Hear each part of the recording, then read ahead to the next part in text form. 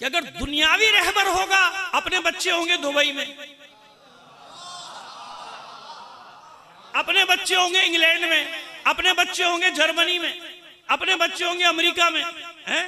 और लोगों से कहेगा, कुर्बानी दो, मरो। ऐसे ही है ना? यही है ना? और अगर होगा इलाही रहबर तो ऐसे मैदान में पहले अपने जिगर के टुकड़ों को लेकर आएगा।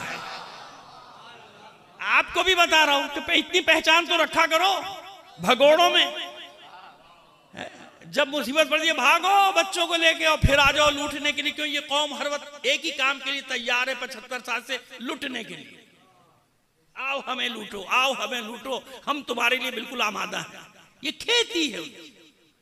आएँगे, एक जज्बाती बात करेंगे, लोगों की नफ्सियात के मुताबिक, और बस उसके बाद आप चल पड़ेंगे उसके पीछे। किस्सा तमाम, ये है, कहानी का खुलासा पचहत्तर साल की दो जुमलों में। मुबाहले की आड़ में मैंने पैगाम दे दिया।